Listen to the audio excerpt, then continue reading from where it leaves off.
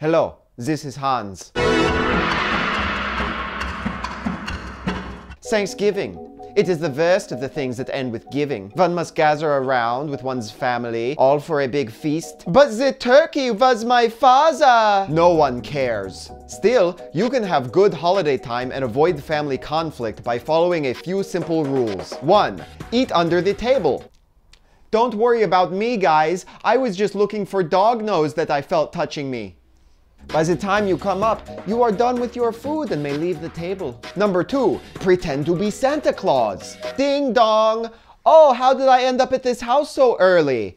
I came here with toys and lists, not pumpkin pie and celery loaf. I should leave and come back in a month. It will be worth the investment in a Santa suit and nose rosacea. Gobble gable. Number three, replace all politics words with sounds. Good point, Uncle. I also agree that we should not pay taxes on. and if only the president would support. we could all finally achieve.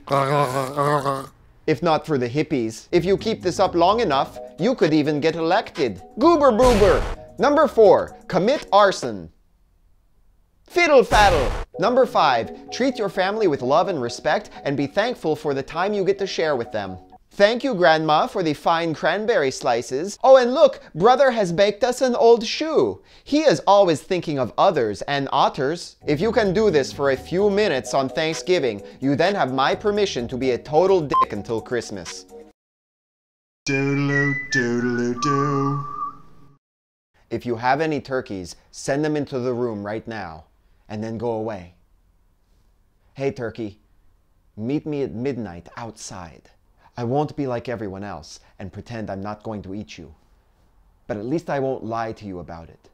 And isn't that what really hurts, the lying? Meet me at midnight outside.